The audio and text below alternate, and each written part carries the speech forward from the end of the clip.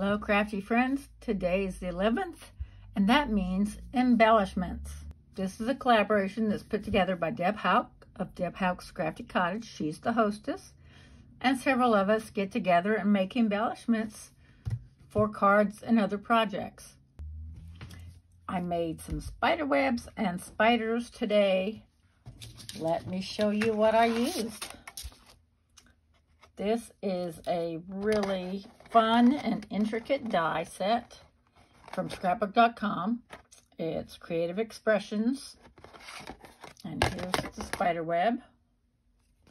And there's the two little spiders. They really look real, trust me.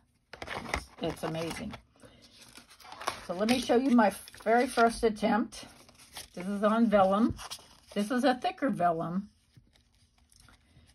and as you can see, there's a, it's very, very difficult. I did not use any extra pressure. I didn't use a dryer sheet, and I'll show you a picture of that.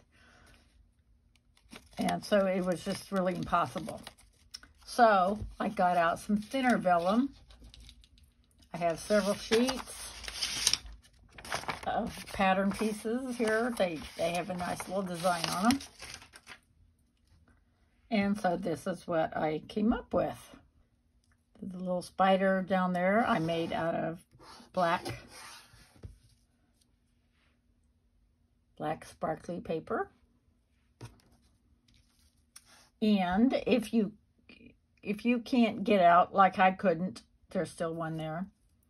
If you can't get out the middle pieces very well, if you still have a little bit of trouble with that, just glue the spider over it. Nobody's going to know. I cut it out from the edges here, and it will go on a 5 by 7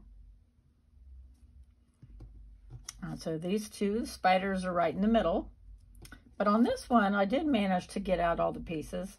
But I did have, like right down, here, where is it? Right up here, where it tore. I had a piece here that tore, so I just put the spider down there. And I'm going to be gluing it on the card, so that's not going to matter. Fun, fun. I think vellum, I think this is a perfect idea for a spider web. Make sure to see all the other people and their embellishments. And we'll see you again really soon. Bye-bye.